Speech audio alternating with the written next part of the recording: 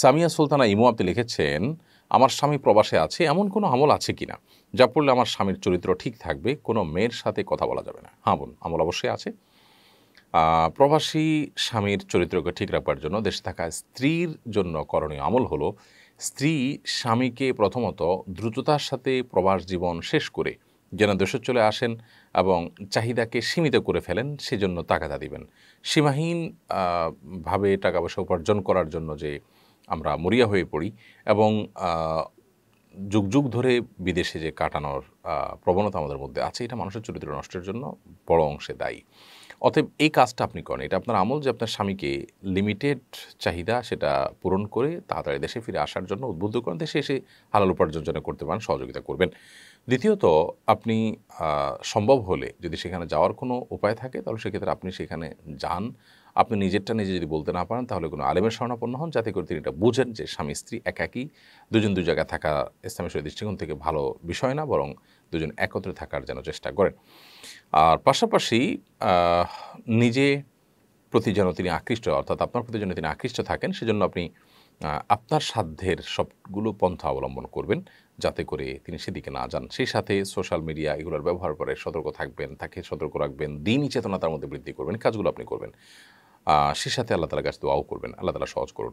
Mirza MD আকরাম আপনি লিখেছেন, আমার জন্য দোয়া করবেন এবং কীভাবে পড়লে পড়া মানা থাকবে জানাবেন। আপনার জন্য দোয়া করি ভাই মির্জা, আল্লাহ তালা আপনাকে ভালো ছাত্র হওয়ার তৌফিক দান করুন পড়া যেন মনে থাকে, বুঝে আসে, সেই তৌফিক দান করুন। রাতে তাড়াতাড়ি ঘুমিয়ে ভোরে উঠে পড়ার চেষ্টা করবেন। এবং অন্য মনস্ক হওয়ার যত পথ, পন্থা আছে সোশ্যাল মিডিয়ার আসক্তি মোবাইলের নেশা ইত্যাদি, এগুলো থেকে বেঁচে থাকার চেষ্টা করুন। বন্ধুবান্ধবের আড্ডা ইত্যাদি কমানোর চেষ্টা করুন।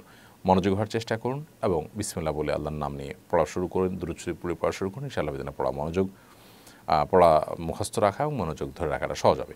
আমার বাবা দুরারোগ্য ব্যাধি ক্যান্সারে আক্রান্ত। আমি আমার বাবার জন্য সবসময় দোয়া করি। আমি কীভাবে আমার বাবার সুস্থতার জন্য দোয়া করতে পারি, দিক নির্দেশনা দিন। আমি আপনাদের সকলের কাছে দোয়া চাই। বোন সুলতানা ইয়াসমিন, আপনার কাছে, আপনার বাবার জন্য দোয়া করি। আমরা আল্লাহ রবুল্লাহ আলমিন তার প্রতি শান্তি বর্ষণ করুন, তাকে রহমতের চাদর আবৃত্তি করুন, জান্নাত দান করুন, তার ভুল ত্রুটি মাফ করে দিন। এবং সেই সাথে আপনি নিজে আপনার বাবার জন্য চোখের পানি ফেলে, হাত তুলে দোয়া কবুলের সময়গুলোতে, একাকী নির্জন সময়গুলোতে আপনি আপনার মতো করে দোয়া করতে থাকবেন, তার ক্ষমা প্রার্থনা করবেন, তার জন্য জান্নাতের আবেদন করবেন, তার জন্য। ইনশাআল্লাহ বিদিল্লা আপনার এই কায়মন বাক্যের দোয়াই আল্লাহর কাছে যথেষ্ট হবে। দোয়ার আগে আল্লাহ প্রশংসা করবেন এবং দূরত পাঠ করবেন। যথেষ্ট ইনশাআল্লাহ এভাবে দোয়া করাটা।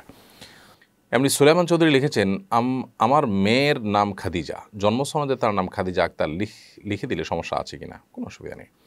আপনি তাকে শুধু খাদিজাই বলে ডাকেন, জন্মসনদ বা আপনার অন্যান্য এভিডেন্স ইত্যাদিতে খাদিজা আখতার লিখেছেন, সমস্যা নেই। আসুন্নাহ ফাউন্ডেশন, উম্মার স্বার্থে, সুন্নার সাথে।